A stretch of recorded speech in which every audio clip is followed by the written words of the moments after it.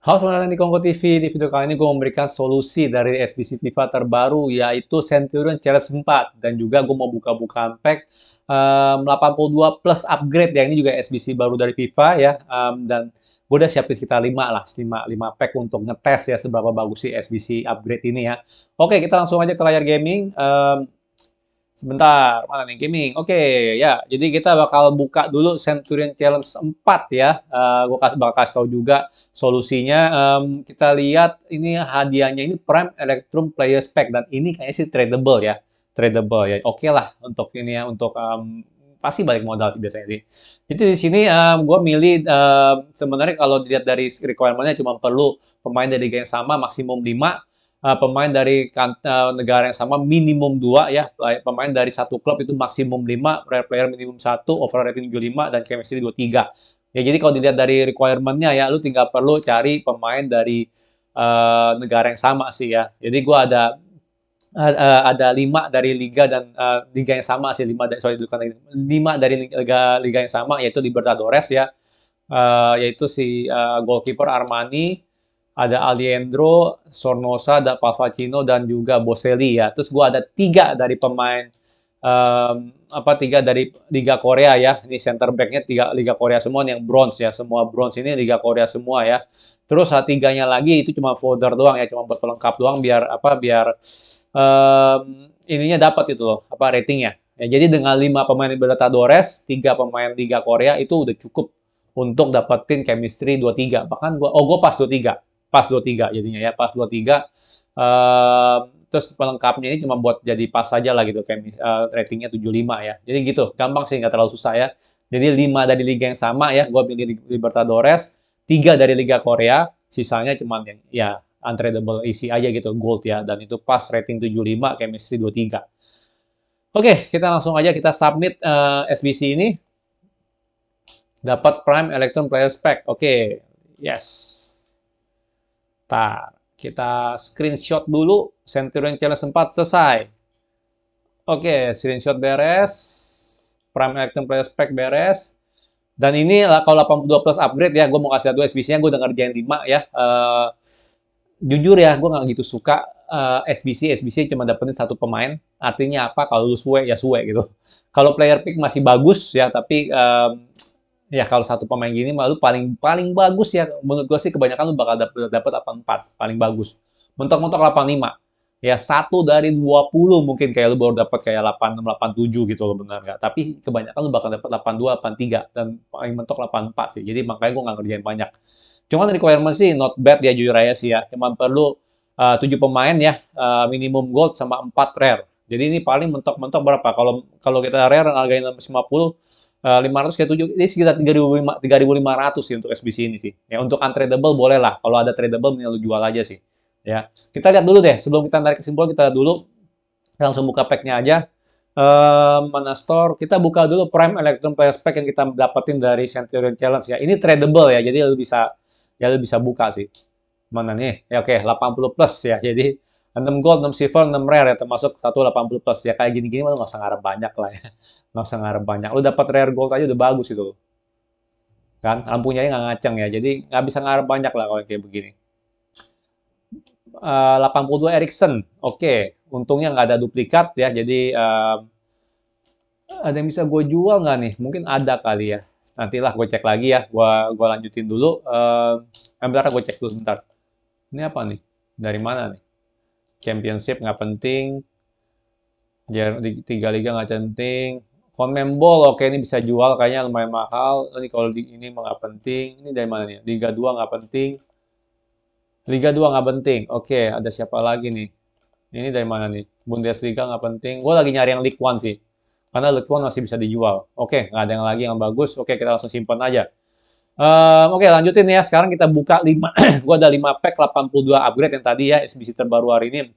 Tunggu 1, 2, 3, 4, 5. Jadi kita langsung coba tes ya, sebagus apa sih ya. Feeling gue sih tetap sih kalau gue lihat di YouTube yang ada juga paling cuma dapat ya 82, 83 gitu loh. Sekali-sekali 84 ya. Kita langsung buka ya 5 kita tes. Oke, okay, let's go. Ngaceng loh. Lampunya aja nggak nyala, berarti dapetnya 82 ya. Kacau loh bener loh. Ya 82 dapat 82. Jadi ini bakal ekspektasi itu harus begini sih, ya bahkan duplikat. Coba bisa gua ini nggak bisa gua jual nggak kayaknya sih nggak bisa lah. Ya jadi langsung gua discard aja. Ya jadi nggak jangan ngarep banyak sih. Kalau gua bilang sih ini nggak mendingan lu jangan lakuin sih. Uh, karena lu nggak bakal dapat yang bagus, beneran serius. Oke, yang kedua kita lihat. Ngaceng lu. Oke, setidaknya lampunya nyala, berarti 84 lah ya center back Bastoni. Oke, okay, 84. Ya, gue udah bilang kan barusan kan, lu bakal kebanyakan dapat 82, 83, sekali-sekali dapat 84. Ya, not bad lah 84 ya, bener nggak? Jadi gue balik modal. Kalau 84 sih balik modal, apalagi sekarang 84 lagi mahal. Oke, okay, uh, eh, lanjut lagi. 82 plus player pack ya. Kalau satu satu player pack tuh gue paling males gitu, karena biasanya dapetnya anyep. Tuh, ngaceng juga enggak kan? Ya kan? Aduh, siapa nih? Oh, Sebastian Haller, 82 dapatnya 82. Ya, begitulah. Nggak bisa expect banyak. Jadi paling bagus sekarang ini Bastoni tadi ya. Tinggal dua lagi ya. Tinggal dua lagi kita lihat. Kita lihat. Ngajeng loh. Ya, setidaknya nyala lampu. Jadi harusnya 84 lah. Goalkeeper, ya Kastil lumayan kalau dapat 84 lumayan lah pagi 84 lagi mahal bener nggak ya kan tapi tetap ya kalau ada untradeable mending lu jual sih bener nggak kalau tradable ya boleh lalu pakai oke yang terakhir ya kita tes ya 82 plus let's go. Macam lu. Wih Centurion. Oke juga dapat Centurion. Wah Aspi bro. Dapatnya aspi bro, aspi culun, aspi culun, aspi culun tah, habis culun. Gue nggak tahu sebagus apa nih dia nih. Bentar, kita tes dulu ya, kita cek dulu, kita cek dulu nih. Bentar, bentar, gue cek dulu. Uh, kita buka Foodbin, foodbin.com. Kayak sih jelek lah, nggak perlu ngarepin lah. Karena kan ya kita tahu sendiri lah yang namanya Centurion ini kali ini kan benar-benar ya nggak gitu bagus promonya ya. Mana sih? Uh, player Team of the Week gimana nih? Kok nggak ada sih di sini? Ngeceknya gimana sih? Langsung aja deh Aspi. Aspi. Aspi culun. Asli culun, asli culun lah. Asli culun lah lumayan 50 ribu ya. 50 ribu rated. Jadi gue cukup ini ya, cukup balik modal. cukup lima balik modal 50 ribu. Um, it's, it's not bad lah, it's not bad. Apalagi gue ada Sakaria ya, jadi Sakaria sama Chelsea, sama-sama link Chelsea itu bisa dapat lah, enak. Uh, Oke, okay, gue mau lihat dulu ini satu detailnya. Wow, bisa right wing back sama right back. Tapi jelas lah dengan pace segitu tuh ngarepin apa jadi right wing back sama right back ya. Mending jadi center back. Center back kayaknya cukup gacor ini orang. Ya, Oh, center back bagus. Center back bagus. Acceleration-nya 85, sprint speed 80. Ya, uh, shooting memang emang nggak penting. Passing-nya untuk center back bagus sekali. Short pass-nya 88, long pass 88, vision 81, crossing-nya aja 89. Dribbling nggak ada nggak terlalu istimewa ya, tapi yang namanya center back. Defending-nya, uh, wah interception-nya 87, heading akurasi 82 ya, defending. Wah, cukup bagus loh. Ini, ini kartu nggak jelek ya. Ini kartu udah kayak setara Kim Pembe nih kalau gue bilang. Jumping 93, jumpingnya 93 lagi, stamina 84, kurang itu bagus, tapi 84 masih oke okay sih untuk ini, untuk center back.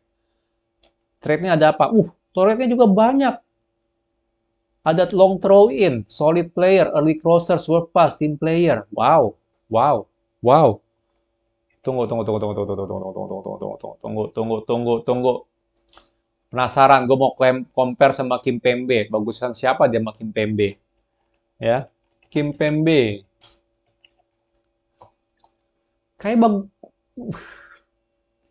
Oke, gue kan ada Kim Pembe. Oh, dari segi pace kalah jauh. Oke, kita langsung kasih ini aja lah ya. Udah pasti kita kasih apa namanya uh, shadow lah ya. Kita langsung kasih shadow aja biar lihat sebagus apa sih ini kartu. Coba langsung shadow. Oke. Oh, dia lengthy. Bedanya dia lengthy. Oh, weak foot-nya 4 lagi. Skill moves weak foot 4. Ini underrated loh nih kartu. Acceleration 93 sama kayak dia, sprint speed-nya kalah dia. 88 sama 93. Jadi belum tentu bisa ngejar orang ya. Mbappe kalau nggak bisa kejar. Shooting nggak penting. Passing-nya nih bagus. Passing kalah jauh deh si Mbempe. Bahkan dribbling pun semuanya kalah jauh. Yang defending menang dikit. Menang dikit loh. Fisikalnya aja nih yang kurang ini nih. Yang kurang apa? Kurang kurang bagus. Wow. Wow, wow, wow, wow, wow, wow, wow, wow. This is not a bad card at all. Ya, bukan kartu yang jelek sama sekali nih. Jumpingnya 93 lagi. Dan strength-nya doang sih. strength-nya doang lah. Ya, jadi um, ya cukup win lah hari ini. Uh, buka ternyata dapat Centurion ya dari 82 plus, tapi tetap aja ya, walaupun gue gue dapat as, uh, Centurion Aspi, uh, menurut gue sih lu nggak nggak perlu paksain sih untuk ngerjain 82 sih, karena sekali lagi itu um, ya lu nggak nggak ya lu kebanyakan bakal dapat 82 lah gitu loh ya. Kalau lagi hoki kayak gue mungkin dapat Centurion, tapi di luar dari itu lu, lu nggak bakal dapat siapa-siapa sih. Percaya deh kata gue. Ya, oke, okay, gue mau udahin dulu videonya. Kalau suka jangan lupa like, subscribe, and thank you for watching.